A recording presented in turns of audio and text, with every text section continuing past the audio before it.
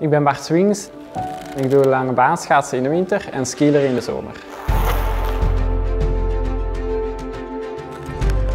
Ik heb skilers gekregen voor Sinterklaas, daar ben ik mee opgegroeid en uh, daar ben ik beter en beter in geworden.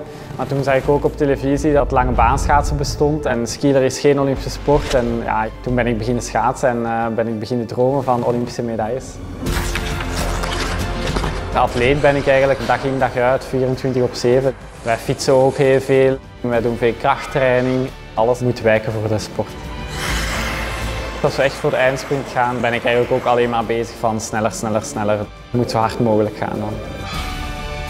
Ik doe dit omdat ik één groot doel heb en dat is Olympisch goud. Ik ben eigenlijk gewoon een soort van sport en ik hou van doelen bereiken en dat is een mooie combinatie denk ik dan.